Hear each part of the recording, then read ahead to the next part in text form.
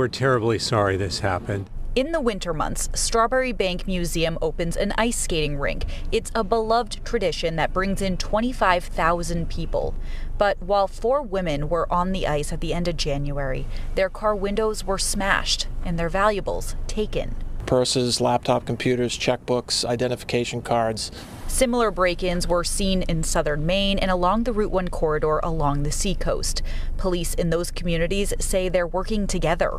While the investigation is still in its early stages, they are looking into the Felony Lane Gang, a well known group of criminals along the East Coast and in the seacoast area with a similar MO to lead us to believe perhaps um, their involvement here, but we, we can't say that for sure right now.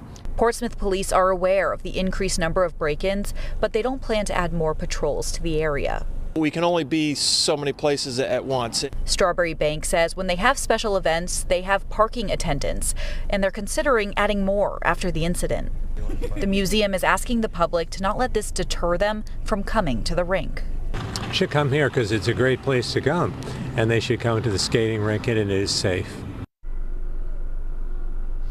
Now, police are reminding you not to be an easy victim. Make sure that your car doors are locked and your valuables are hidden. We're live in Portsmouth. Kelly O'Brien, WMUR News 9.